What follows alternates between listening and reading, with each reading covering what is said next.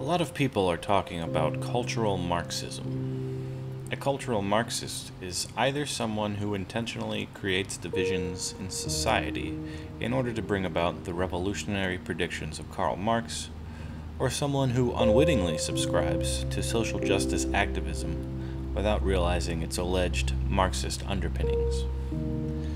Cultural Marxism was introduced to Americans by a man named William S. Lind. But the concept goes back much further. The association of culture and communism was first pointed out by Dadaist painter Richard Huelsenbeck when he declared in 1920 that Dada, the movement in art and painting, was Bolshevik. When Huelsenbeck said this, he was identifying himself as a Bolshevik, but later this association would be used to paint modern artists as enemies of the state. The term in German came to be Kulturbolschewismus. Kulturbolschewismus, or cultural Bolshevism, was used by the Nazis to denounce modernist movements in art as Bolshevik, degenerate, and somehow all connected to a Jewish plot for world domination. In 1937, the Nazi Party put on an art exhibit of so called degenerate art. It coincided with another exhibit that the Nazis deemed Great German art. The point of this was to deride modernist movements such as Cubism, Fauvism, Dada, and Surrealism, and to associate the art with a larger Jewish and Bolshevik conspiracy to undermine German society. Thus, cultural Bolshevism fits within the larger context of Judeo Bolshevism. Judeo Bolshevism being the association of Jews with communism which existed in the popular imaginations of 20th century Europeans and Americans, which led to the rise of fascism and the final solution. Perhaps the person to bring this idea of cultural Bolshevism to the rest of the world was Italy's Julius Evola. He too was a Dadaist painter who declared the movement Bolscevismo Culturale. Evola was a complex figure, if ever there was one. He wrote about racism and anti Semitism from a right wing perspective, but in a way that the fascists of his day did not perfectly agree with. While he sympathized with some aspects of fascism and National Socialism, he never was a member of a fascist party and was distrusted by them. His philosophical writings were largely based on the supernatural, mystical, and pseudoscientific. He is more accurately described as a traditionalist and elitist, advocating for a strict social hierarchy. When he declared that the Dadaist movement was Bolshevik, unlike Huelsenbeck, he was distancing himself from a movement which he had grown to dislike and transitioning from painter to a writer of philosophy. What we may call a culture of decomposition is above all a social tendency consisting of a tendentious approach displaying ideals as illusory, values as pure convention, while deeming institutions as unjust and defective. An attitude emphasizing higher right of life, instinct, the irrational, the purely human, and thus it creates a new superstition constituted by the subconscious, the unconscious, the libido, and an all encompassing eros as the true roots of all existence and human exclusivity. Such notions may be measured by their direct and indirect effects. They are ferments of ethical and spiritual decomposition, and their ultimate consequence can only be Marxism. Cultural Marxism manifests itself in literature, art, philosophy, and science in a general culture which appears to lack any relation whatsoever with Marxist thinking and communist political propaganda, even if its creators or promoters assume they are not exercising any political influence, their actions will inexorably result in a destructive Marxism. Here we have at least two Dadaist painters who saw a Bolshevist plot in their movement. Furthermore, you will find many modern abstract artists conforming to some form of leftism or communism, yet many others were apolitical, and some do appear to have arguably right wing views. The politically conservative painter was most likely holding to a traditionalist style, while the modernist movements around them were in a constant state of flux. So does that mean modern art is Marxist? How does line and color represent a political philosophy? By itself, it doesn't, Evola says, but it represents a departure from the traditional, and therefore its very acceptance by members of a society is a rejection of hierarchy that can only lead to Marxism. In 1931, journalist Carl von Ossietzky mocked the flexibility with which the term cultural Bolshevism had begun to be used. Cultural Bolshevism is when conductor Klemperer takes tempi different from his colleague Furtwängler, when a painter sweeps a color into his sunset not seen in Lower Pomerania, when one favors birth control, when one builds a house with a flat roof, when a cesarean birth is shown on the screen, when one admires the performance of Chaplin and the mathematical wizardry of Einstein. This is called cultural Bolshevism and a personal favor rendered to Herr Stalin. Now, through the accusation of cultural Bolshevism, anything that was not directly commissioned by the state could be rejected and the art of a nation carefully controlled. And therein lies the danger. Cultural Bolshevism is indelibly linked with Nazis and the Italian fascists. It is concerning that a relic of such a widely criticized and condemned political philosophy is being touted today as truth by people who don't seem to recognize its history as much as it is by those who proudly associate themselves with that history. In the 1990s, William S. Lind brought the same concept to Americans and dubbed it cultural Marxism. According to the Lindian variant of cultural Marxism, a group known as the Frankfurt School secretly controls academics and broader society by infusing Marxism into all levels of academics, corporations, and government, but also by changing Marxism's class struggle to the oppression espoused in identity politics, political correctness, and secularism. Now, seemingly anything anti Christian, untraditional, or opposed to the conservative idea of Western culture can be blamed on this Marxist plot. The Frankfurt School was an academic group that practiced critical theory from the 1920s through to today. They sought to apply the sciences to politics in the way Karl Marx had 100 years before, in order to create academic solutions to the world's problems. They believed that societal structures and cultural assumptions were the causes of inequality. All of them were Marxists and were predominantly German Jews. This led to them being exiled from Germany by the Nazi Party for the belief that they were part of a larger Jewish communist plot for world domination. The fact that leaders of the Frankfurt School were Jewish is not insignificant and their ulterior motive fits neatly into Nazi and far right propaganda associating Jews with communism.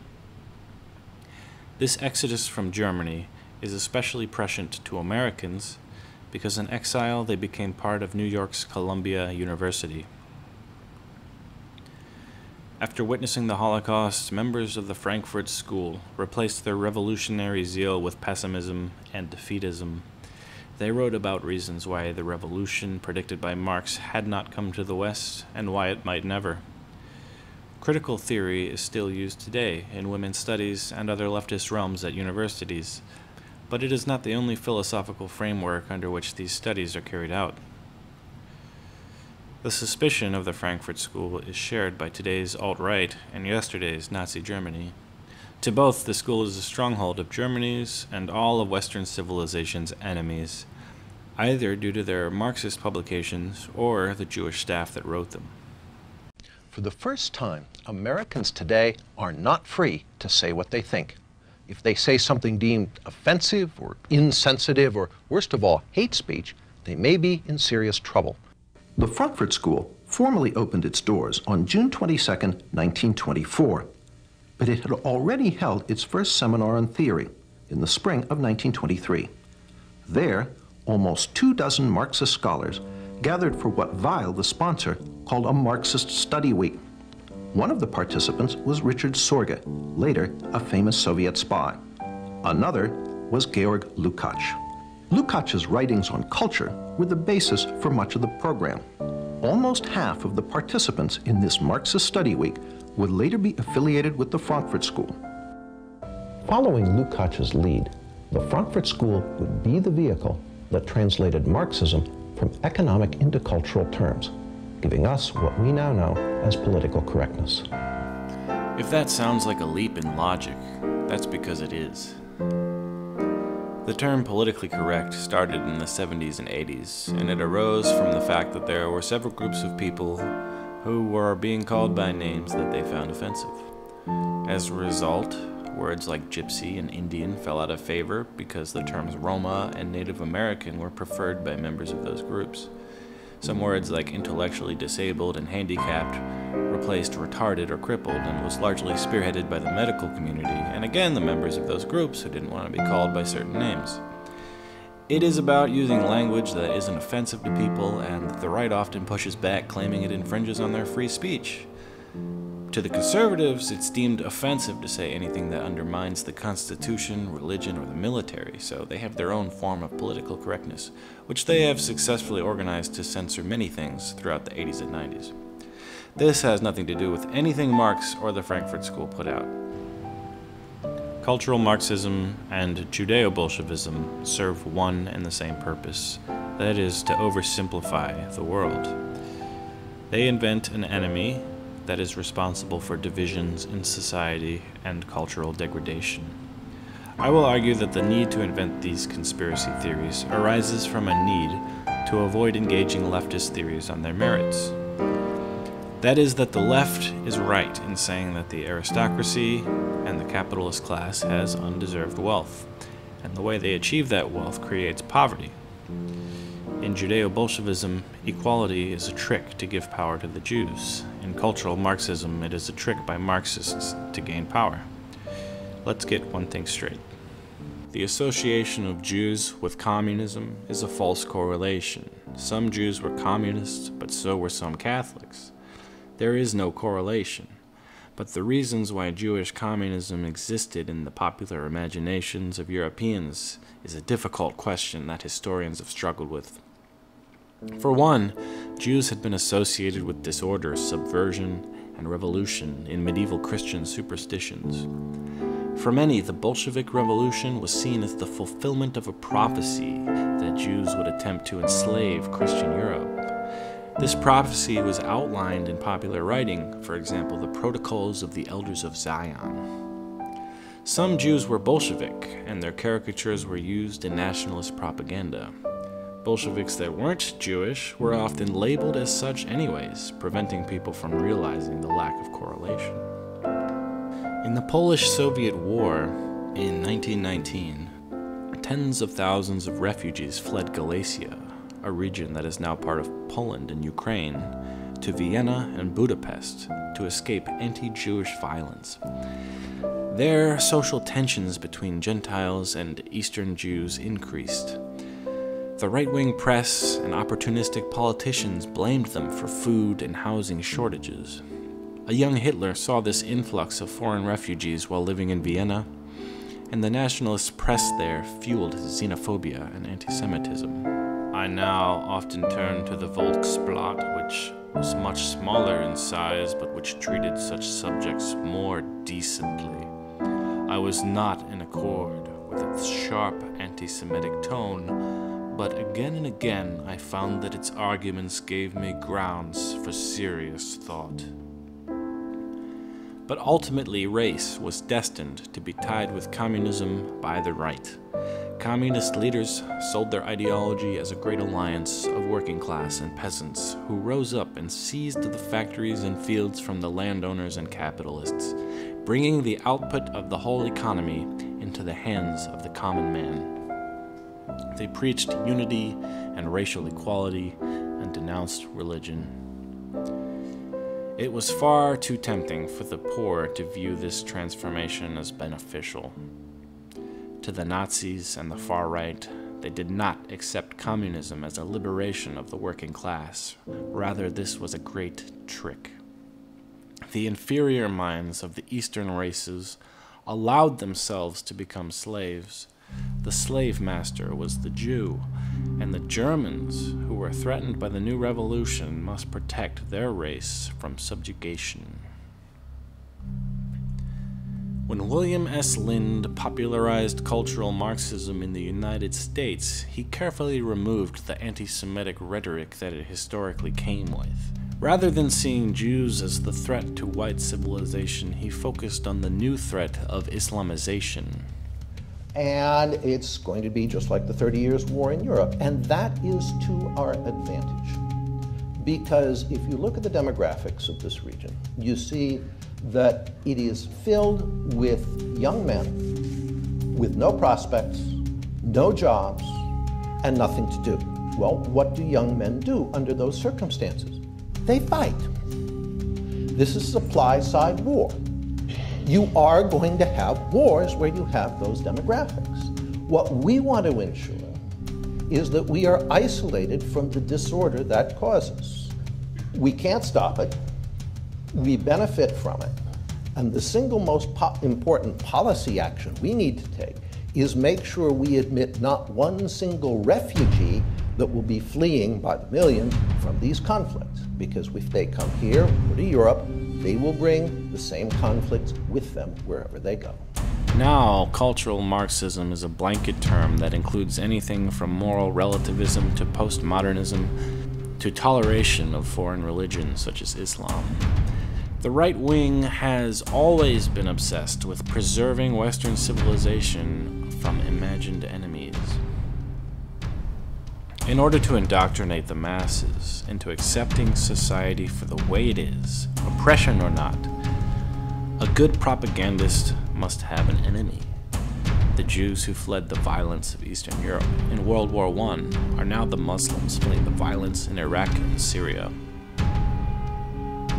This continent no longer confronts the specter of communism. We are confronted by another oppressive ideology one that seeks to export terrorism and extremism all around the globe. The fundamental question of our time is whether the West has the will to survive.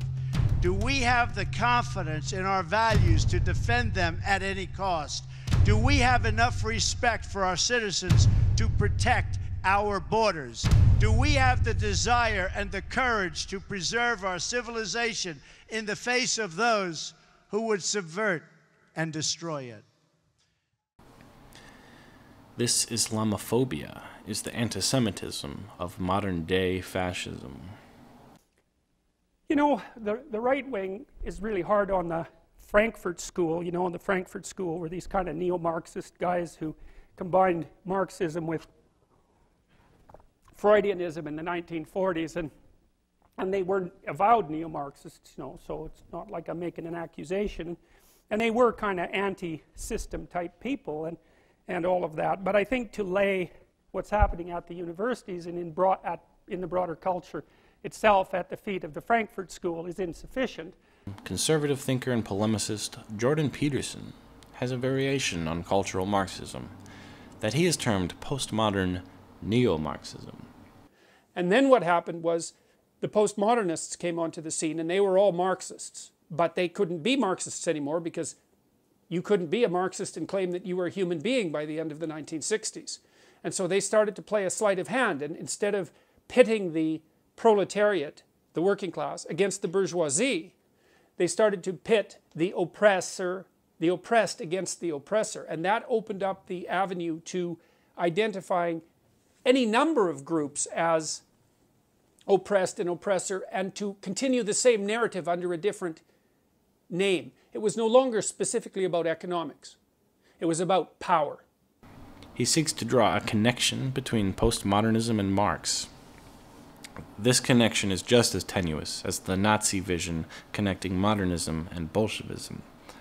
Postmodernism is a broad criticism of ideology and objectivity that arose in response to modernism. In my view, these developments starkly contrast with Marxism's ideological foundation and Hegelian origin.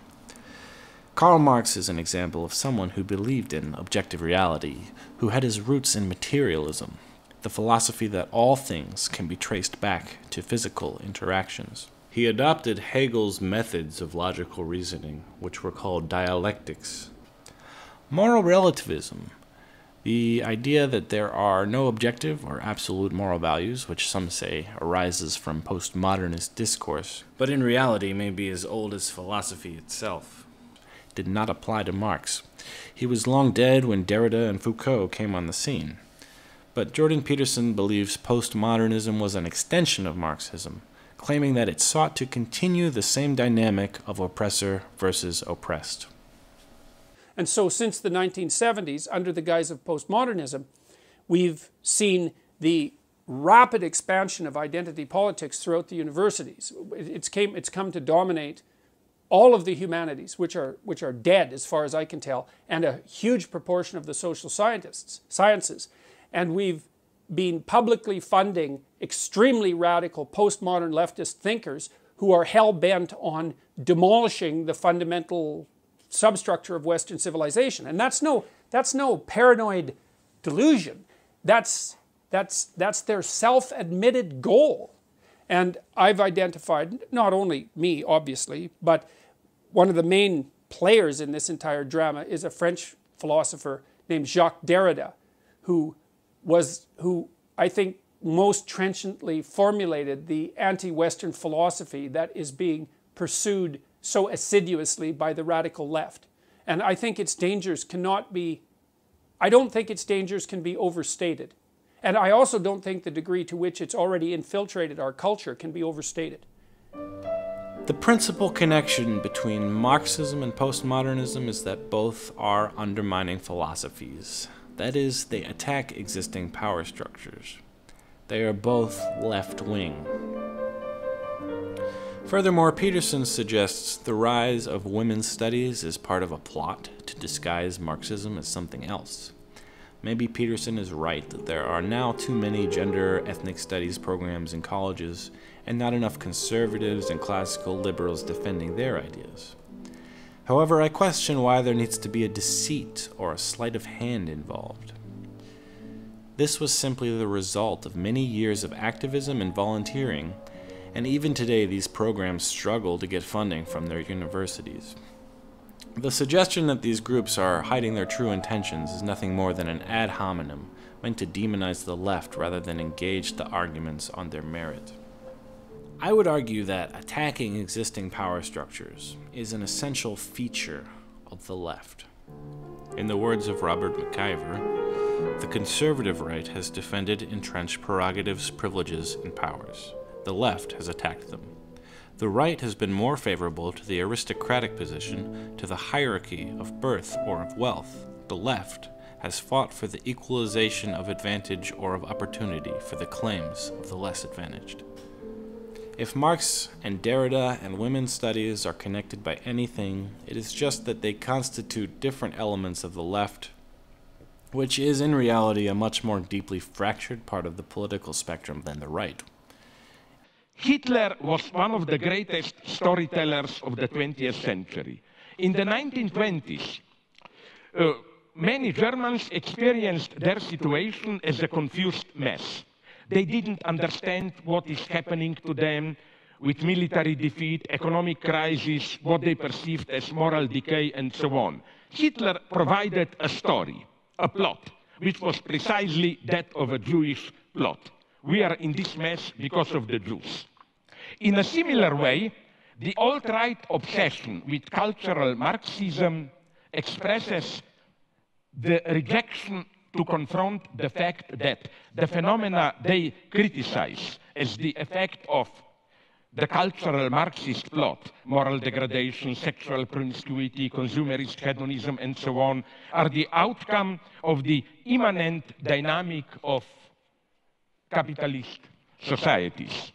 The turn towards culture as a key component of capitalist reproduction and concomitant to it, the commodification of cultural life itself, are, I think, crucial moments of capitalist expanded reproduction. So the term cultural Marxism, I think, plays the same role as that of the Jewish plot in anti Semitism. It projects or transposes some immanent antagonism, however you call it, ambiguity, tension of our socio-economic life onto an external cause in exactly the same way.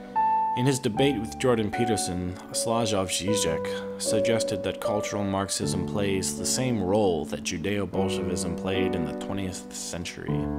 It creates a threat to Western civilization that is mostly imagined. And the cultural collapse we are witnessing is actually caused by the consumerist hedonism wrought by capitalism, not any critical theorists of the Frankfurt School, nor is it brought about by postmodernist essays.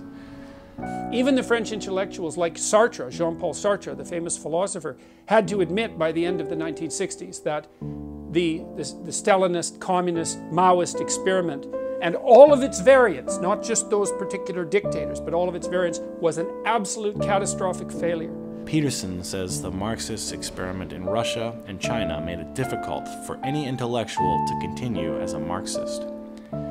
Despite the failures of China's Great Leap Forward and Stalin's mass collectivization, Peterson's assertion does not appear to be true. In fact, through the 60s and 70s, communism saw a resurgence in popularity, especially in France and Italy, where the communist parties were the third and second largest, respectively.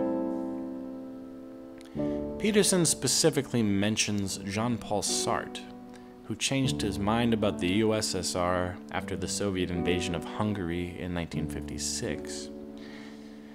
What he fails to remember is that Sartre became critical of the Soviet Union not because he had come to reject Marxism, but because he was an unwavering Stalinist, critical of Khrushchev's reform. Probably the most enormous mistake was the report of Khrushchev because of the public solemn denunciation, the detailed exposure of all the crimes of a sacred figure who represented the regime for so long, is madness when such frankness is not made possible by a prior and considerable rise in the standard of living of the population. The result was to reveal the truth to masses who were not ready to hear it. Here, Jean Paul Sartre is referring to Khrushchev's famous secret speech, which condemned the former regime of Joseph Stalin. However, despite the famines and the murders and the gulags, Stalin also brought Russia and the USSR into the modern industrial age, raising life expectancy and the standard of living, which made him revered by many people. So Sartre seems to think that the secret speech was a mistake. In fact, Sartre continued writing in defense of Marxist theory and neutrally about Stalin's reign until his death. For Hegel, as we have seen, the apodicticity of dialectical knowledge implied the identity of being, action, and knowledge. Marx began by positing that material existence was irreducible to knowledge, that praxis outstrips knowledge in its real efficacy. Needless to say, this is my own position. Jean Paul Sartre. Marxists did not disguise themselves as postmodernists. In fact, there was no shortage of self avowed Marxist intellectuals in the 1960s and 70s. Those labeled postmodernists, like Michel Foucault, were often at odds with them, disagreeing with core Marxist tenets. Marxism exists in 19th century thought like a fish in water. That is, it is unable to breathe anywhere else. Michel Foucault, The Order of Things. What the postmodernists did do was examine state controlled systems that used ideology and propaganda for social control. When they examined Western society under the same vein, conservative intellectuals recoiled at the notion that our press, education, and political parties were controlled by a state ideology, just as they were in Soviet Russia or Nazi Germany. Now listen, you The right of queer, assembly stop calling here. me a crypto Nazi. Let's- let's stop or I'll calling names you in and your let's get- goddamn face, and let's- you'll stay plastered. Gentlemen, let's Oh, go. Let let's the author of Myra. Bracken, Breckinridge I- go back to his pornography and stop making any allusions of I Nazism to somebody you who's to- in In this debate between Gore Vidal and William Buckley, you can see Buckley losing his temper and threatening to physically attack Vidal because he likened American news suggesting we had a noble cause to invade Vietnam to the propaganda of the Nazis, and he labeled Buckley as one such propagandist. You must realize what some of the political issues are here. That many so people in the United States uh, happen to believe that the United States policy is wrong in Vietnam, and the Viet Cong are correct in wanting to organize their country in their own way politically. This happens to be pretty much the opinion of Western Europe and many other parts of the world. If it is a novelty in Chicago, that is too bad. But I assume that the, the point of the American democracy And some is people you can express any Some point of view you want. Nazi.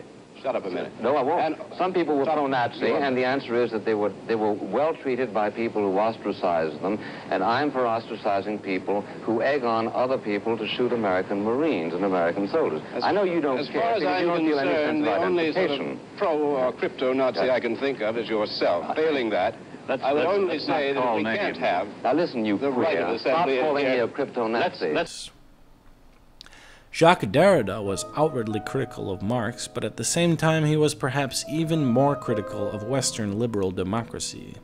On the rise of liberal democracy in Europe, after the fall of the Soviet Union, he remarked, Never before, in absolute figures, have so many men, women, and children been subjugated, starved, or exterminated on the earth. The right forms conspiracies, like cultural Marxism, when they are unable or unwilling to attack the left on its own merits. The right sees the world in terms of winners and losers, and naturally wants to be on the winning side of history. When the left stands up for populations around the world who are under attack by current power structures, conservatives can't help but see it as a kind of betrayal and a siding with the enemy. History isn't a series of winners and losers, but the struggle of human beings against limited resources. The enemy is nature. Probably most people believe in some progress. They are not completely right or left, but fall somewhere in between. I think it's important not to be a total nihilist. It's important to find some things that you agree with and some things to be grateful about in your society, culture, and government. And when George Lukács of the Frankfurt School lamented in 1919, Who will save us from Western civilization? I do not think he was in favor of destroying everything the West has built.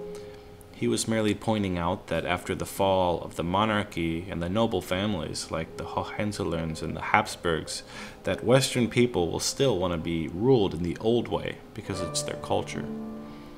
In Marxism, this is the concept of class consciousness the idea that poor people are happy to be poor as long as nobody points out that they are being used and oppressed. The fascist movement of the 20th century reacted to the communists by telling people that class isn't real, that the revolution was meant to subvert those who rightfully held power and give it to new Jewish masters. This is what the right is beginning to do through the concept of cultural Marxism. But the new ethno religious enemy is the Middle Easterners against Judeo Christian Western civilization. And the modernists have been replaced with the new trendy movements on the left, which are actually secretly Marxist revolutionaries. So, is cultural Marxism a real thing? It kind of depends on how you define cultural Marxism. Is there a conspiracy by the left to overthrow Western civilization, replace it with a new Marxist communist regime? It's not much of a conspiracy because society has accepted liberal democracy as the predominant method of doing things. Marxists are completely marginalized, and the idea that they are working in secret to control what the governments of liberal democracies around the world are doing is not something I personally believe. Universities exist under a capitalist liberal democratic system, and their main motivation is to make money. Even nonprofit schools are very concerned with attracting students. Because of a multitude of factors, the cost of going to school has become extremely inflated, and academics have clearly suffered because of that. Grade inflation is more rampant, and a degree means less to employers than it once did. And this is especially the case in the US. I mean, one of the things that's happened over the last 30 years is that the the proportion of university expenditures that's gone to the administration has, has massively, massively increased. And at the same time, the student loan burden has increased. And so, what's happened in a weird sense is that the administrators have conspired to steal the future earnings of their students. And then hmm. you can't declare bankruptcy. So to me, it's indentured servitude. Well, you can't declare bankruptcy on student loans. Right, That's you a can't very declare. important That's distinction. right. You cannot declare bankruptcy on student loans. So you think about that. You tell me what difference there is between that and indentured servitude. There's not much because it's the only thing that I can even think of where that's the case. Corporations can go bankrupt. right, They and do it all the time. individuals can. Individuals Right. can. Businesses can fail. The Frankfurt School and critical theory had crept into American academia long before these changes, and their work is only celebrated for the merits of its contributions to political science. And at the same time, it's marginalized and ignored by actual governments of the world who have embraced capitalism for better or for worse.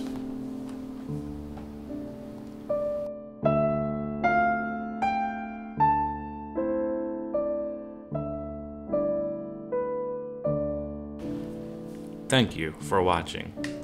Like and subscribe, leave a comment, or ring the bell. And as always, have a great day.